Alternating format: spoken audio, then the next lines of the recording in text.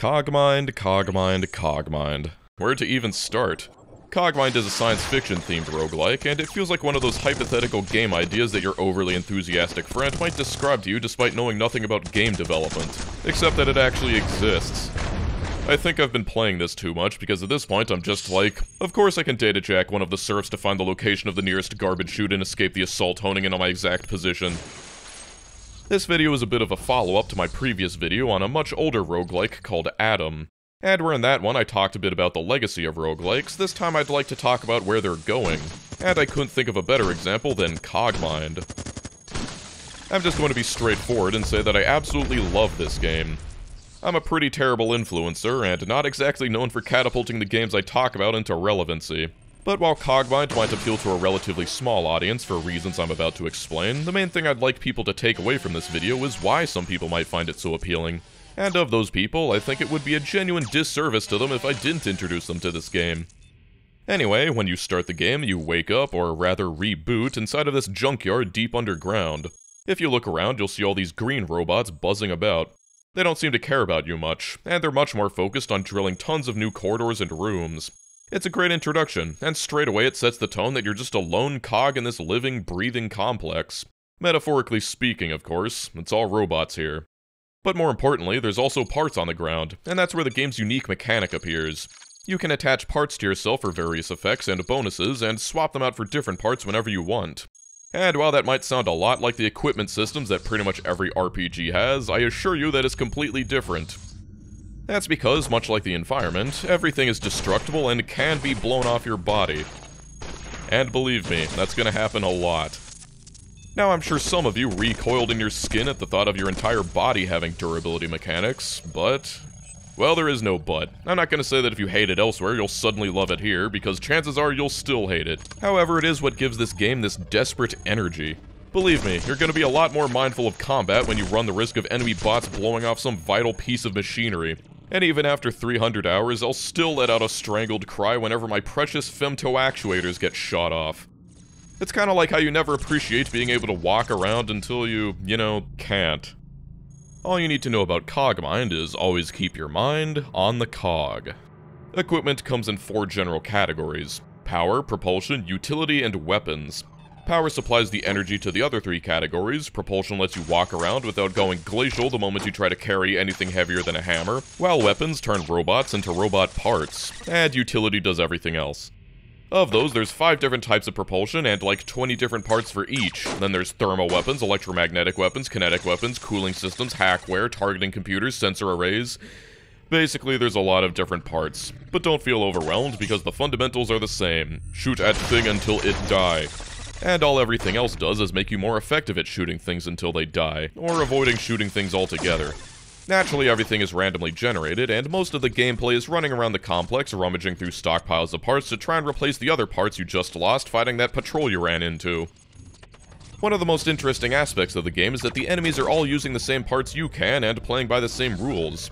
If you were to dress yourself up with the exact gear as one of the basic grunts, you'd be just as effective at dealing damage as they are. If you're fighting a certain enemy and wondering why you seem to be missing more than usual, it's probably because they've got a phase shifter attached or if they seem to be hitting your core far more often than they should, it's probably because they've got a core analyzer. Knowing what parts some bots are made of is a major part of succeeding in Cogmind, and it's not just the combat bots. The innocent worker bots have parts as well, and if you're desperate for propulsion, you can blast them apart for their wheels or engines. Certainly not the best option, but when your back is against the wall, it might just save your artificial life. Plus, they're great sources to top up your matter after you spent it all launching rockets at assault squads. It makes the gameplay so much more intuitive, and it carries the promise, like, you like that robot's equipment? Well, you can just take it. Of course, that's assuming it manages to stay intact after you blasted its previous owner to pieces. Hopefully you're beginning to warm up to the mechanic, and there is some advantage to having your parts blown off. It means your core isn't taking all of the heat. Needless to say, if your core integrity reaches zero, it's game over. To avoid that, every part has integrity and coverage, which is simply how much it can get hit and how likely it is to be hit, so you do have some recourse to try and keep your important parts safe. Strictly speaking, everything is armor, and the only thing that differentiates actual armor is that it tends to have higher integrity, higher coverage, and a little use beyond taking fire and being unceremoniously replaced the second it gives up the ghost. The flip side of that is that the same rules apply to your enemies as well, and the only way to destroy them is by striking their core. Well, apart from terminally corrupting them or melting them, but I'm trying to keep it simple. It all comes down to chance. You've got a chance to hit, and when you hit, another chance to strike their core. And sometimes you'll get so unlucky that you'll fire at a grunt until it's nothing but a torso and a heatsink without ever hitting its core. It might sound terrible being at the mercy of the random number generator, but the randomness is part of what makes the game so compelling. Even hacking is chance-based. There's all sorts of interactable machines around, and you can hack them for many useful benefits. You have a chance to succeed each hack, and every time you attempt a hack, you have another chance that you'll be traced, giving you another few shots before you're locked out completely. Terminals are a precious resource, and there's nothing more satisfying than remotely recalling a reinforcement squad or reprogramming a nearby trap array to take out a patrol without even lifting a finger. It's difficult to express just how varied and useful the things you can do with the terminal are, and something as simple as hacking the location of the exit or the current position of all active patrols can keep you from getting scrapped. Most of the lore you'll receive is in the form of query hacks, and if some topic in a query interests you, you can simply query that manually. It's one of the most interesting methods of world building I've come across, and it really makes you feel like a hacker. There's also repair stations, recycling stations, Scanalyzers, fabricators, and garrisons. And I could talk forever about the strategical implications of each, but suffice to say, there's lots of tools to try and tip the odds in your favor. Though you won't get far with hacking without hackware, which increases the chances of succeeding a hack or reduces the chances of getting caught. The only problem is, you've got limited slots, and the more utility slots you fill with hackware, the less you're going to have to fit armor and other useful utilities. So much of the strategy is making the most out of your limited resources. This brings me to why Cogmind is so compelling to me. And that's because you cannot heal, you cannot level up, and the only way to get stronger or restore your health is to advance upwards. Each time you do, you'll get more total core integrity and the ability to evolve two new slots. And in this, it's actually closer to the original Rogue than most roguelikes, because you cannot revisit previous areas. There was a glimpse of this in my ADOM video, but many traditional roguelikes end up with you having ye old junk pile where you keep stashing random items for use later, and so you end up with this massive hoard that can take several minutes just to sift through. Not only that, but you'll be visiting it many times, and that means several trips going up and down the stairs just to deposit junk. Cogmind kicks that whole notion to the curb, and that completely changes the dynamic. Yeah, it's a pretty common thing to see in the more modern interpretation of the term roguelike, but traditional roguelikes have more in common with RPGs. And so it's more akin to something like Final Fantasy having zero XP grinding, or even levels for that matter. This is probably something that's only interesting to someone like me, but in something like ADOM, your general method was to understand the risks in each and every area, and then only attempt them once you felt strong enough to tackle them, resulting in this very calculated and predictable playstyle. Similarly, in NetHack, you have these so-called Ascension Kits, which translates to wandering around to the dungeon until you've gathered all of the items you'll need if you want any chance of defeating the final area. But in Cogmind, you don't have the luxury of mustering your strength and safety like that. You are constantly in the Lion's Den, and respites are few, far between, and completely absent on the upper levels. If you run from the main complex and into the caves, you might be able to get some help from the derelict bots with their radical ideas of freedom and individuality. But eventually, you are going to need to head back into 0b10 controlled territory. The lower floors aren't so bad, but once you reach Factory, you're going to start feeling the pressure, and that's because of Alert. You might have guessed by now, but this complex doesn't exactly want you inside of it. And while it's content to let you skirmish with the patrols and guards for a while, make yourself too much of a nuisance and it'll be forced to take you seriously. Destroying robots and machinery raises your alert level. Let your alert get too high and an assault squad will be dispatched, which is basically an armored pinata on wheels, but instead of candy, it contains robots. They're so fast that only flying or hovering builds can hope to outrun them, and unless you're lucky enough to have a terminal nearby and the hacking strength to recall it, you're gonna need to fight it. No matter, a single rocket launcher is all you'll need to dispatch the entire squad. But maybe you've realized the problem. Killing bots raises your alert, and the collateral damage from your explosives isn't helping either. And that means you're gonna get even more assaults sent after you, sending you down an alert spiral. First it'll be one at a time, then two, then three, and if you manage to hold your own against that, you'll have the pleasures of experiencing high security. Once you've reached high sec, all the machines will be shut down, and you'll immediately get assault arcs dispatched to your location. Except this time, you'll get more almost immediately afterwards. This is what happens if you make it clear that you need to be dealt with, and it's highly recommended that you find an exit as soon as possible. Otherwise, you're looking at a one-way trip to the scrap heap. However, if you are a literal beast, armed to the teeth with rocket launchers, packed to the rivets with matter, and have more armor plates than transistors, it is possible to weather the endless horde. If you somehow manage to scrap something like over a hundred of them, it'll give up and choose the nuclear option, sterilizing the entire floor with you along with it. And so it cranks up the thermostat until everything melts. The alert mechanic is one of the most interesting aspects of this game, and another reason why it's so compelling. It represents this constant tug of war with the entire complex, and it does more to sell the experience of fighting against an enormous uncaring megastructure than perhaps anything else. You're gonna feel the pressure anytime you're inside of the complex, and managing it is one of the major challenges. Alert goes away over time, but the longer you're on the same level, the less it will reduce, so if you want to overstay your welcome, you're gonna need to use other means, like hacking terminals. Or if you're desperate, throwing yourself in the garbage. However, there's a reason you lose alert by coming down here. The complex assumes you're dead, and that's because what's down here will very likely kill you.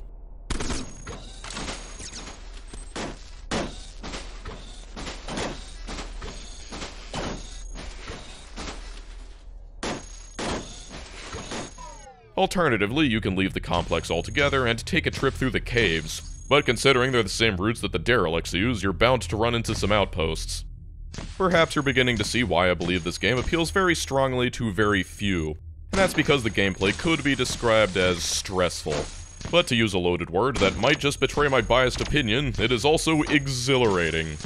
It's difficult to truly convey the range of emotions that pass through me when I'm playing this game but it's a type of game where I can spend 10 minutes in perfect concentration just staring at my inventory as I decide which of my very important items I should drop to make room for a slightly more important item. You really feel the pressure when you look over and see that all of your parts are nearly shot and your inventory is tragically short on spares.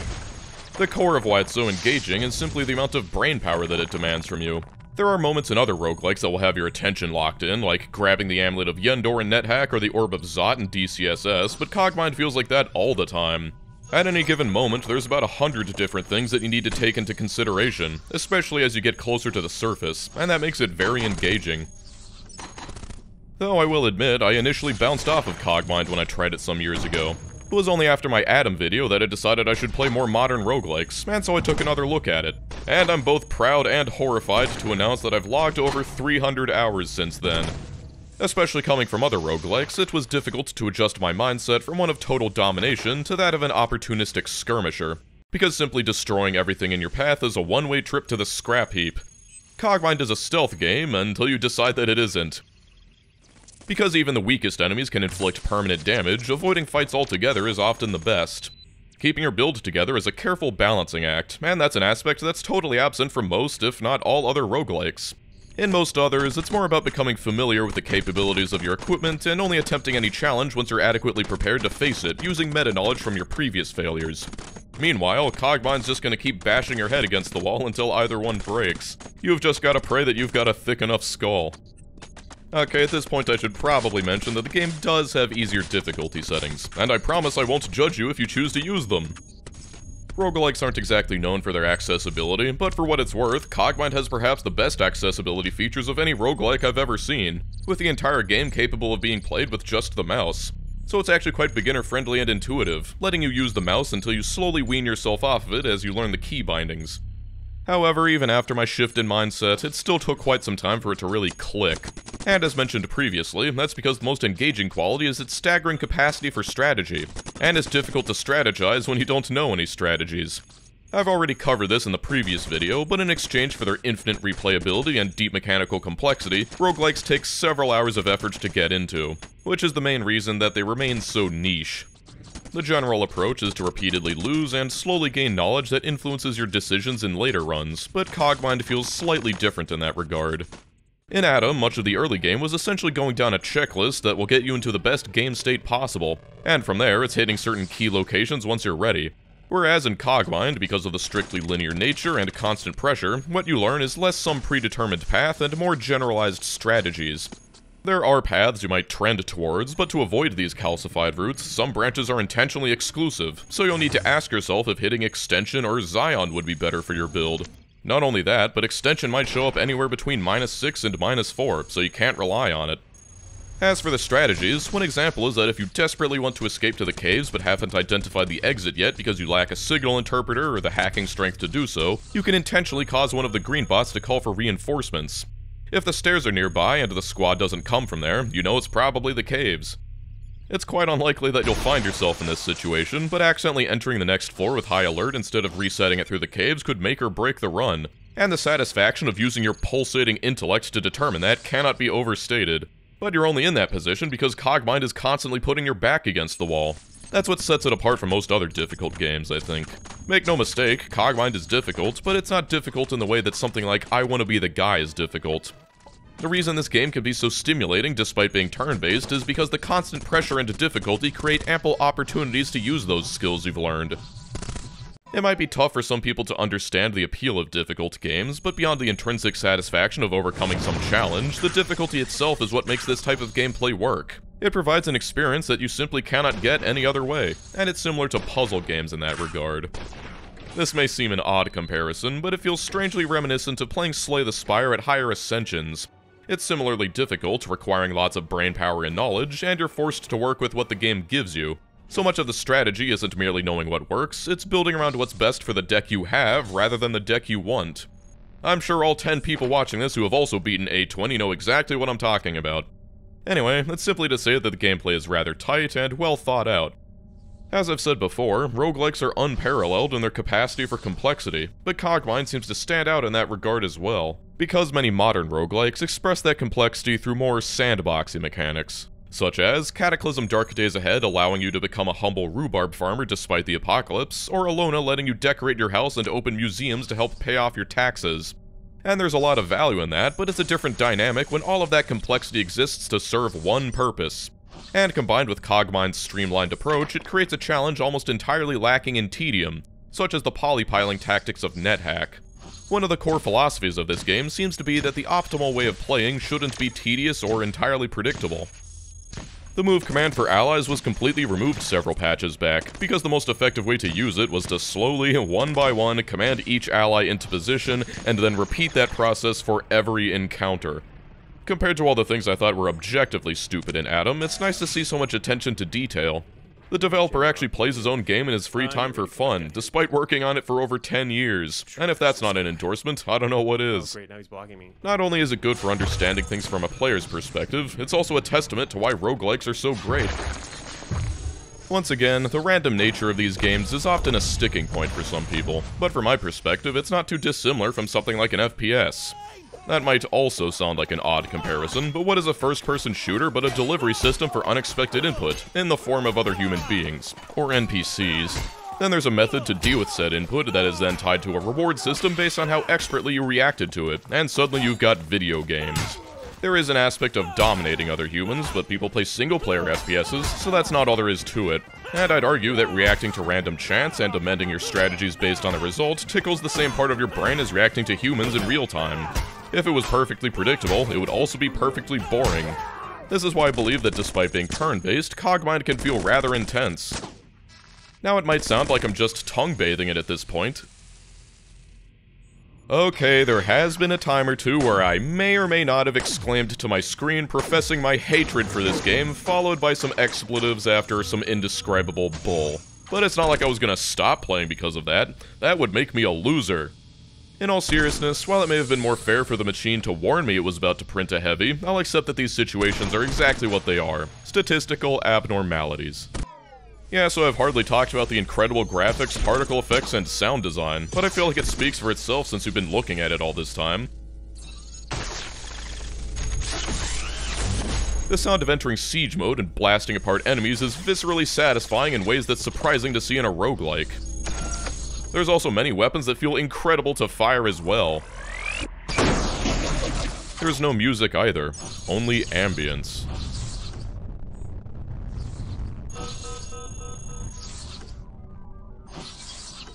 The ambience is dynamic as well, because each non-interactable machine has its own distinct mechanical hum that fades in as you approach. And some areas are downright scary.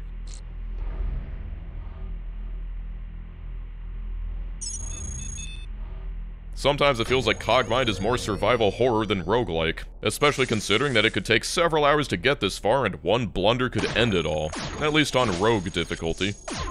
And that's something that I've wanted to talk about the most. Perhaps the single most defining feature of the roguelike is permadeath, but not all permadeath is made equal. While the more modern interpretations of the term are more lenient, traditional roguelikes have no such qualms about instantly ending your 10-hour run because of a single lapse in judgment. There's not even any unlockables to console you after your death.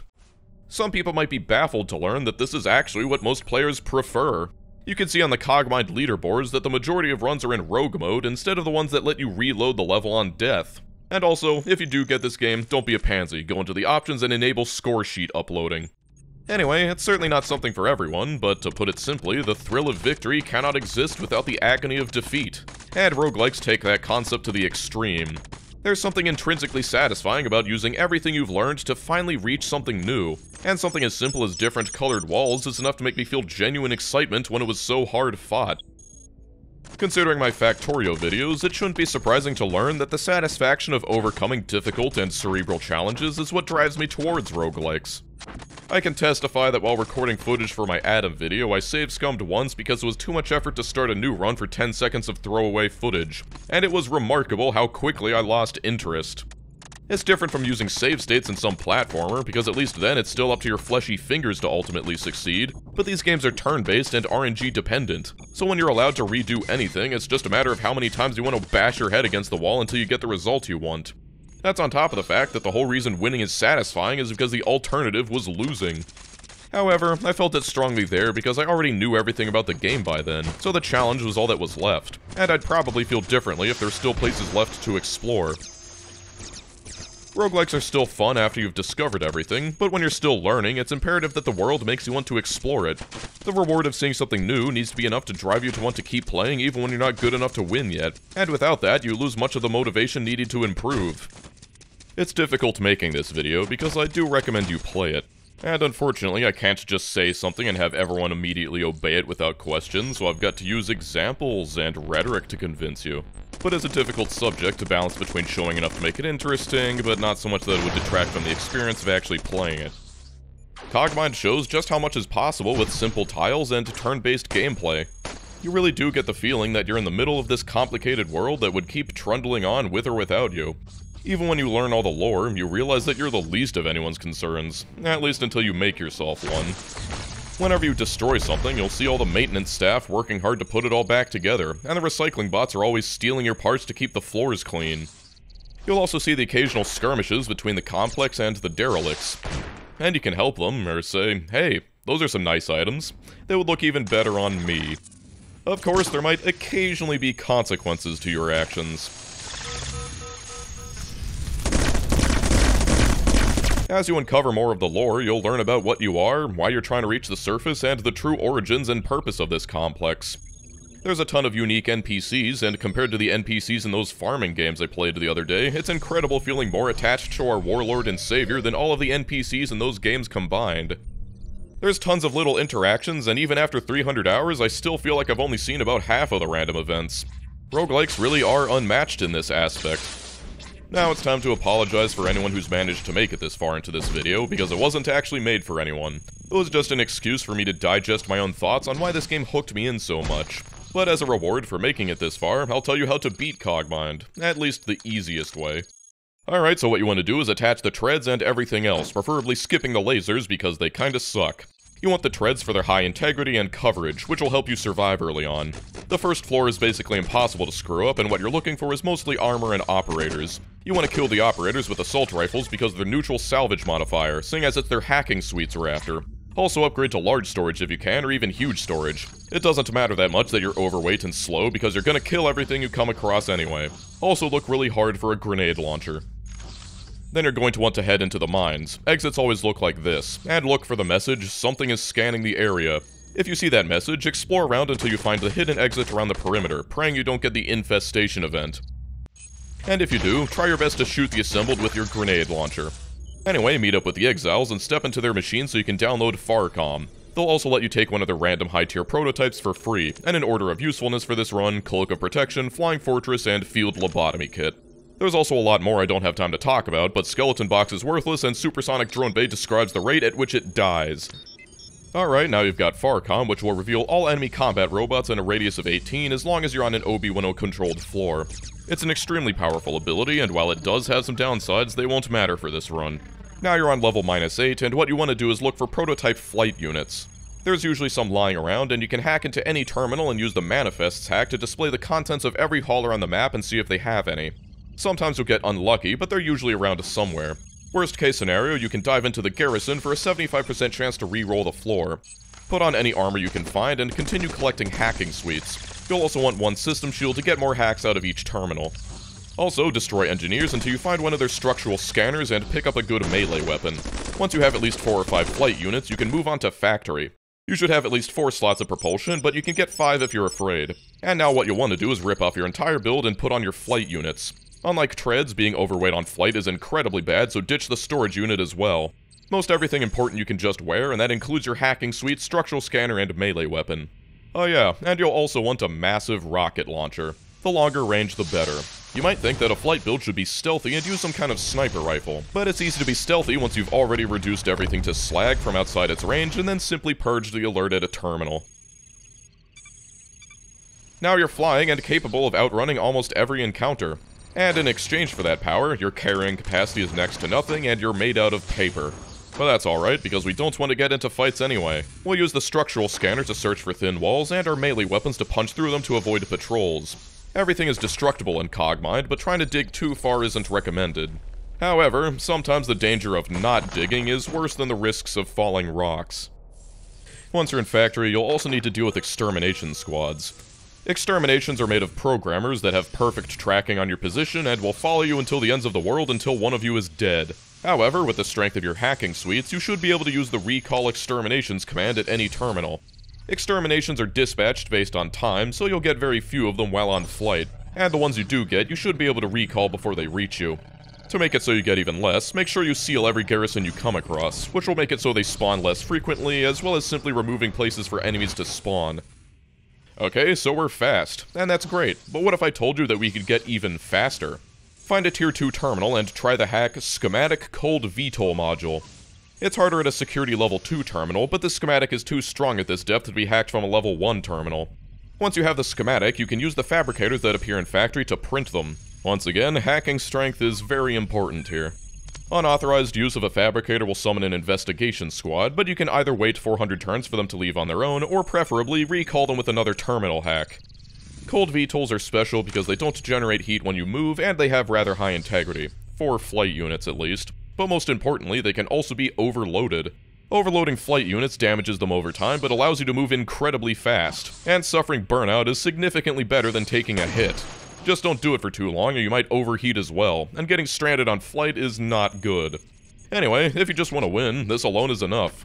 Sure, you can get things like ECM suites, phase shifters, reaction control units, cloaking devices, or even better flight units to make it easier, but as long as you can outrun your pursuers and escape through walls, you'll go far.